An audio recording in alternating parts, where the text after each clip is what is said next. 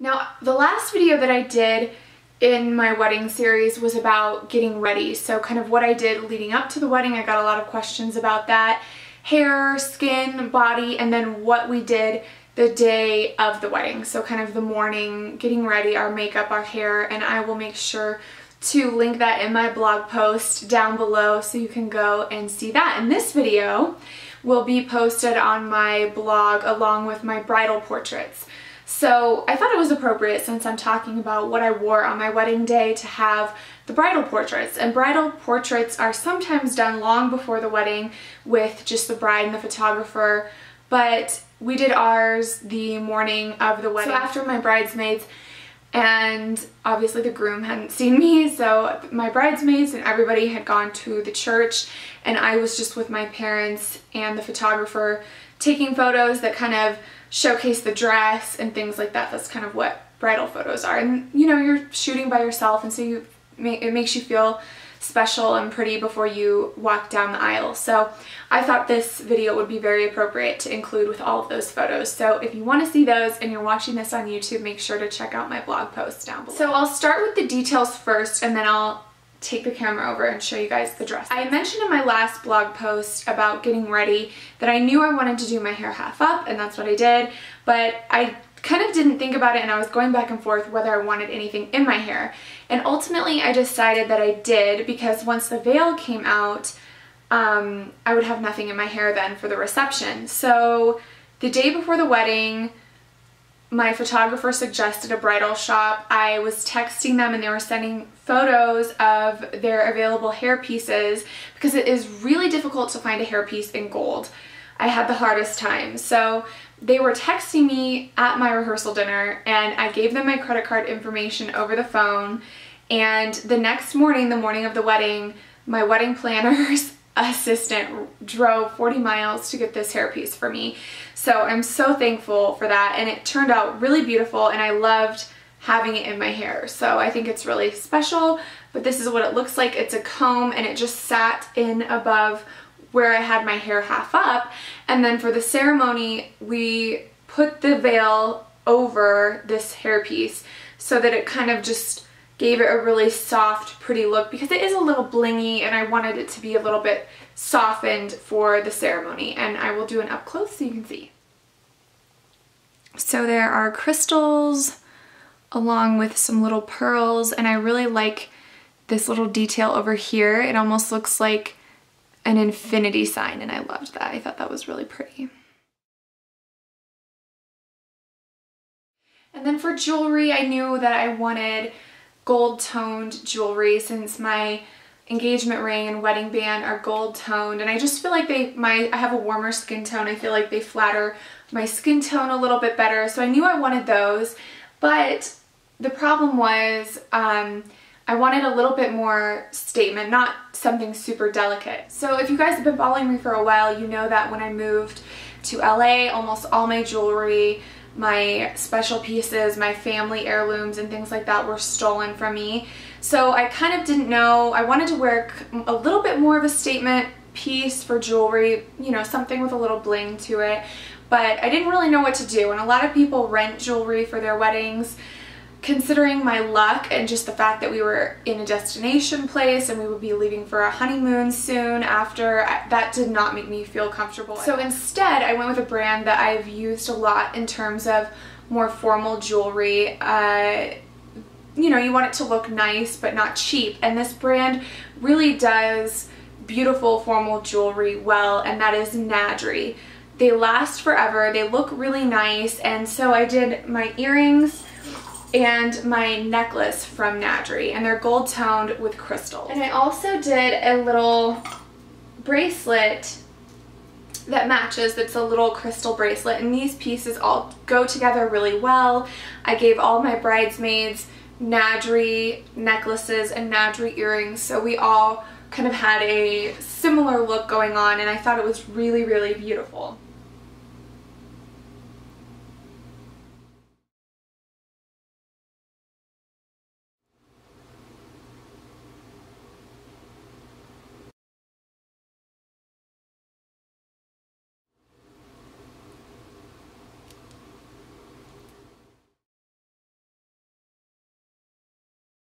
If you go by the saying something old, something new, something borrowed, something blue, a lot of people do that. So my wedding dress was my something new and then my something old was a gold bangle bracelet that my mom let me borrow and it is a family heirloom. It's been passed down in our family and it's something really special and every bride who has worn it on her wedding has not gotten divorced and every bride that has not worn it on her wedding day has gotten a divorce. So we always kind of are superstitious about it and I definitely wanted to wear it. You know, my mom said, well, it's not the most beautiful thing. I said, I don't care for the ceremony. I want it on my wrist for sure. So that was my something old. And then my something borrowed and something blue was kind of you know, went together and that was a sapphire ring with diamonds around it that my dad had given to my mom way back when Charles and Diana were together and the jeweler had created a similar ring to kind of uh, almost like a replica of the Charles and Diana ring. And it was just besides being just a beautiful ring and something blue it was also special to me because you guys know I'm such a Kate fan. I love um, Duchess Catherine. I love her style and so the ring has almost become something new to our generation and I kind of liked incorporating that into the wedding.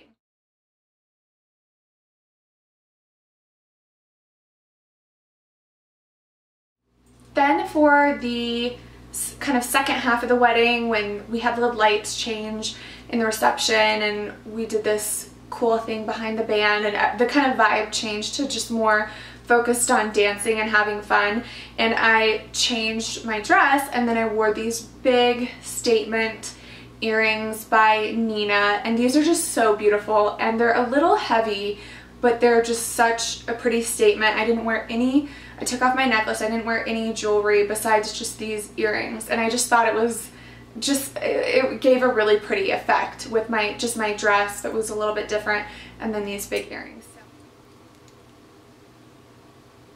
I found this pretty blush toned uh, satin bag with gold hardware detail and some crystals at the dress shop Mira, Mira Couture, who made my reception, or sorry, my eh, re rehearsal dinner dress.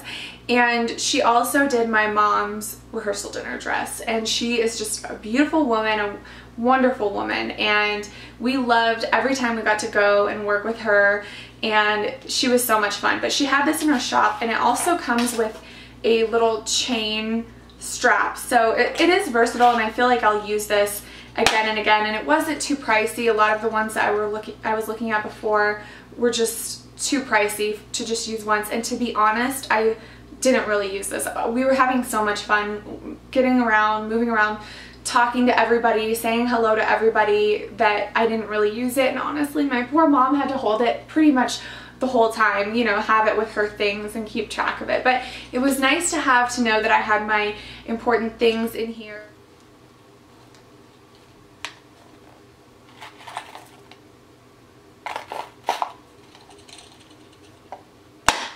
For shoes, I planned on changing halfway through the wedding, but I didn't because I loved these shoes so much and they were actually so comfortable, surprisingly, that I didn't need to change them. And these are shoes by Renee Caovilla.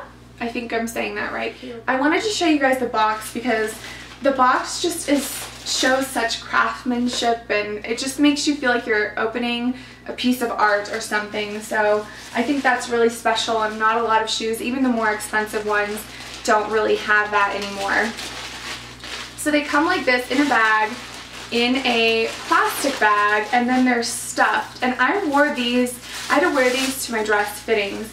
So I would say they weren't, you know, absolutely in perfect condition before the wedding, but they really held up so well. You know, I took them traveling and then danced all night in them and they are such a beautiful shoe. They're a blush colored suede on the bottom and on the back of the heel. This is my favorite part though. The bottoms are this amazing, it just looks like diamond dust. It's so, so sparkly and beautiful. And then they have this Swarovski crystal pattern and on the foot I will definitely make sure you, that you see pictures, but they just look like lace or something. They're so beautiful. Such a beautiful shoe.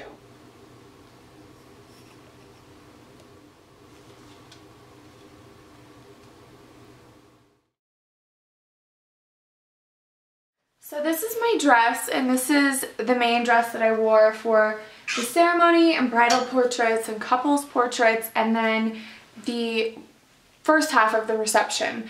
And it's my favorite dress. It's absolutely gorgeous. I don't even know if you can see in this video, but hopefully you'll be able to tell in the photos that I post from the bridal portraits. But the dress is actually bustled right now and it's kind of cool that you can see it bustled, I guess. I don't even know how to unbustle this. It is so complicated and there's all these tiny little clear buttons and it's it's bustled. I need to get the dress cleaned and preserved and if you guys have any suggestions for me on that, I would love that. But this is how it looks bustled. I don't really love it bustled. When it's unbustled, for those of you who I didn't know about bustling until my wedding, but when it's unbustled, basically it's so much longer and more full and it gets in the way when you're dancing, which is why we had to bustle it before the reception when we did There are layers and layers of tulle underneath here and there are layers of champagne tulle so it gives it a pretty depth and glow that a stark white dress wouldn't have. So the veil clips in with a comb and I didn't have a blusher which is the part that comes over your face. I just thought it would just be a distraction kind of and I wasn't sure if my dad would know how to lift it up at the end of the aisle so I thought maybe it was safer to just skip that part. But the veil is really light. Just I wanted it not to have an edge to it. I just wanted it to be really soft and kind of blend into the dress. The same hand done Chantilly lace that's all throughout the top layers of the dress um, is on this veil. So it blends really nicely.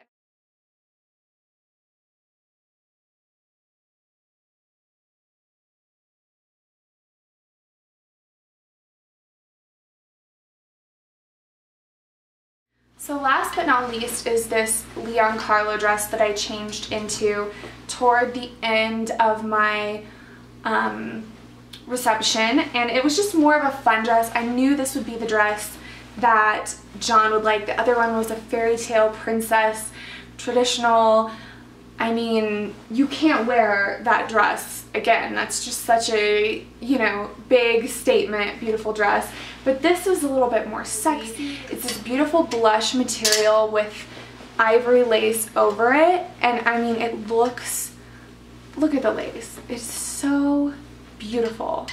And I feel like it never picked up in pictures. I didn't get enough pictures in this dress. So this is Lian Carlo and they do still have this and sell this. I mean, this is like a, you know, cookie cutter dress. It's a specific style and you can order it. So if I find this style of dress, I will definitely talk about it on my blog or link to it or what have you because it is just beautiful. And the bottom kind of bells out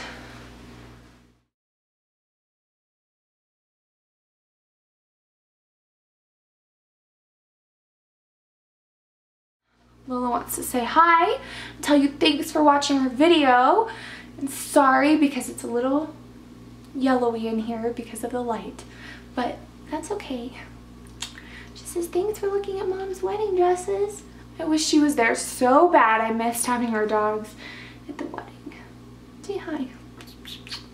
Okay, thank you so much for watching and be sure to check out my blog towardsnatiara.com and my new upcoming lifestyle website which is thecashmeregypsy.com. I will have lots more wedding details and things on there.